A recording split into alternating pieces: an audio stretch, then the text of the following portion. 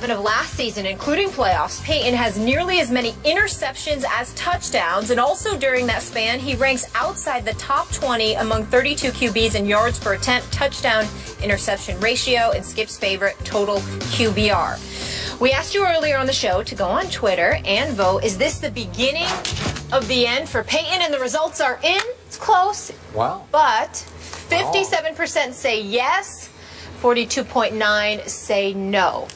Hmm. Mark Schlereth is here, former Bronco. We need your answer to this question. Okay. Is this the beginning of the end of Peyton? I should hope so. It's 18 years in the league, right? I mean, at some point, it's got to be over. I, listen, it's not. I ended up coaching over there during the course of, of spring training, or during the course of obviously uh, of uh, of training camp. Yeah. And so Gary Kubiak asked me just to come and be an extra set of eyes, and so I spent a lot of time over there. And and this is not hyperbole. But Peyton's arm is not what it once was, but it was never great coming in. It was not a supremely. Exactly. He was never No. supremely gifted. Uh, I saw him throw the ball better this training camp than I've ever seen him throw the ball in the last three years I've been hanging out there. That doesn't mean that you know he ha- had some miracle elixir and he's fine now. He still has his issues. He still has to throw with anticipation. He's got to be an anticipatory thrower. He's got to have all those things. The real issue here with the Denver Broncos is you're basically amalgamating two separate offenses together. What Peyton Manning has done his entire career, the entirety of his career has been from the line of scrimmage, out of shotgun, essentially orchestrating what play we're going to get into and throwing the ball and then trying to get into Gary Kubiak's zone run system off of play action. And what you saw was the I guess what you saw was an offense that really basically acquiesced to what Peyton wanted to do. I think out of the 70 some odd plays, over 40, almost 50 of them were out of shotgun. Uh, uh, on a play action offense where you run the football, you ran no play action. They threw 40 times and ran 25 times, just for the record. And, and by the way, you want to see what this offense is supposed to look like. Now, this is going to have to be a pride swallowing siege from Peyton Manning.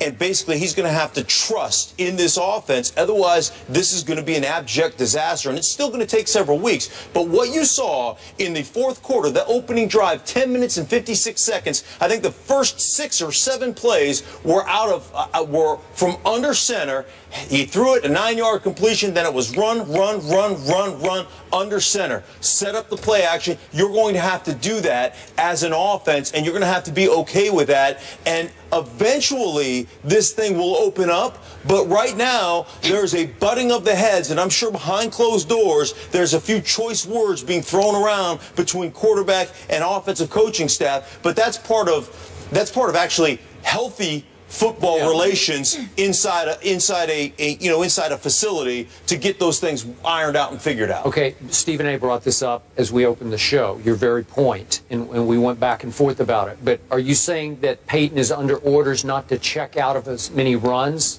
under Kubiak? That'll be that'll be part of it. Yeah, th- there'll be. Here's the thing about offensive football. Okay, let me just give you some from my perspective, from mm-hmm. playing the offensive line. Here's some things about the offensive line. When you run things, when you run an offense from the line of scrimmage, like Peyton Manning has run his entire career, and you can basically check into the best possible one-on-one matchup at all times because he is the best that's ever played bar none, not close, at controlling things from the line of scrimmage and getting you into the right play.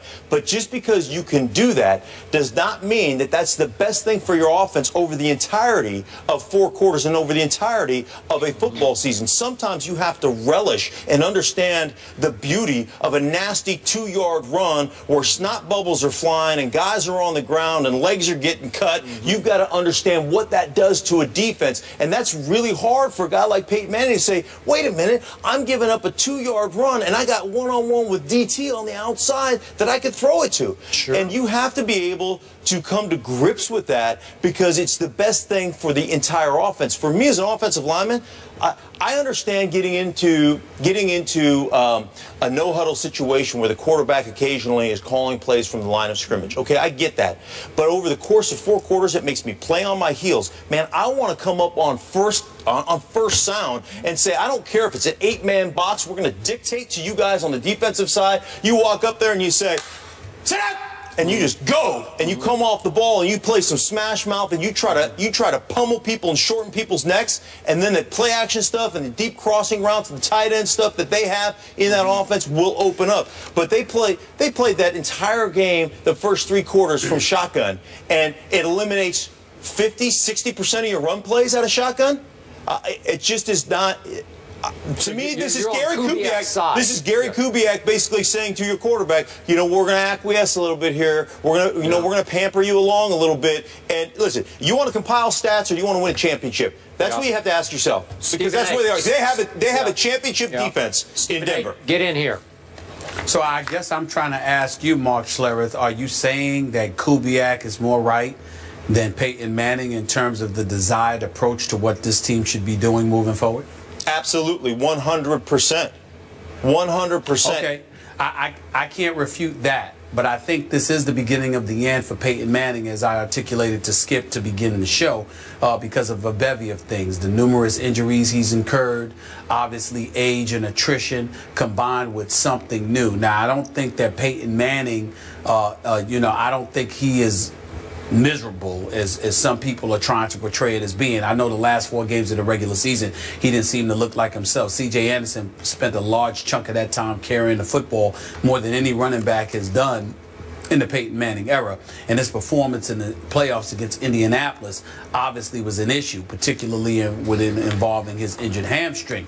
But then when you come into this season and you put forth those pedestrian numbers, is which is definitely pedestrian for Peyton Manning, I think you have to wonder you know how much you know how much does he want to do this or how much longer does he want to do this peyton manning used to being peyton manning and it's a very, very valid point when you talk about do you want to win championships or do you want to stockpile numbers? He completed 66% of his passes. Uh, he threw for over 4,700 yards, but I think the absence, the omission rather, or the departures of Wes Welker along with Julius Thomas has a lot to do with the direction that Denver is going in.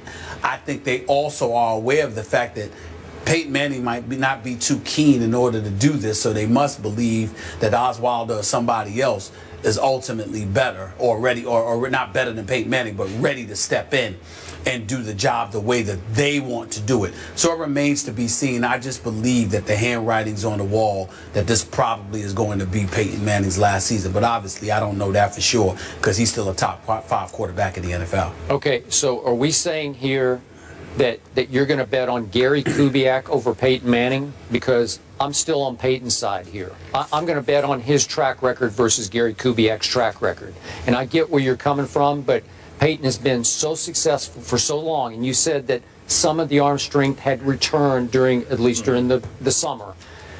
I, I think he's still very good enough for them to go a long ways this year doing it Peyton's way. Now, again, maybe Right. his weapons aren't what, what he used to have. That's a whole nother issue. And, and I do like their stable of backs. I would like to see a little bit more balance.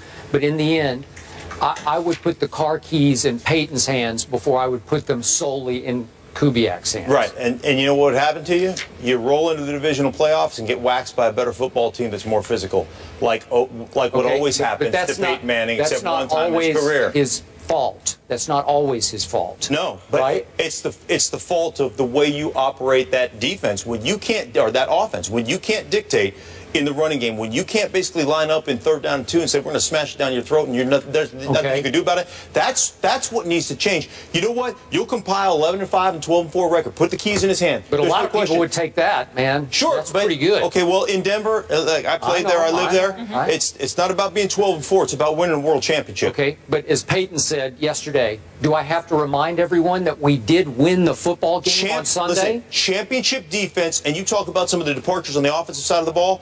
Defensively, this team is legit, and I mean as good Okay. as there is in this league. And then the other thing they've done, bolster the depth on that whole team from a special team Okay. standpoint. This this team can flat out win two, thir- two uh, with those two thirds phases of the did, game. did they not beat a very good football team, a physical Yes. football team Yep. at home on a team that has beaten them in the playoffs? and I think there? they gave up 173 total yards or something of that nature. Guys, great conversation. Mark, Right. your perspective was excellent. Thank you so much. I appreciate My appreciate pleasure. it. Always good to be with you, fellas. But we do And have you to go to break. Molly. Thank you. Thank Yes. you. We're not done talking about Peyton, though. He does have a game this Sunday, and it's in Kansas City. Arrowhead, a tough place Thursday. to play. Oh, Thursday excuse me. night. Thursday. Yes. Thursday. Thursday.